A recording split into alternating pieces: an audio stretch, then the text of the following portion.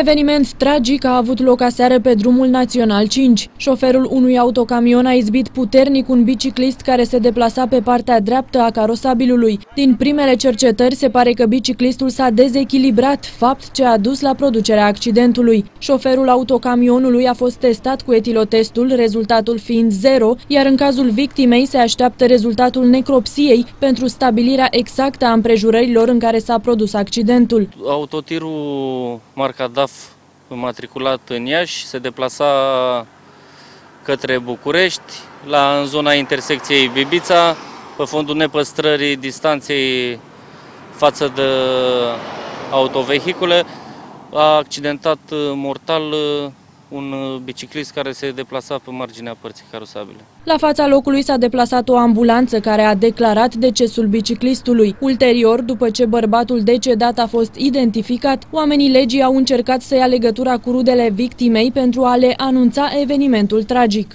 Puteți să anunțați familia? Să anunțați familia? Să vină până la... Să vină la Bibița, la intersecție. El cine e, mă? De unde este? Din Protești? Mă auziți?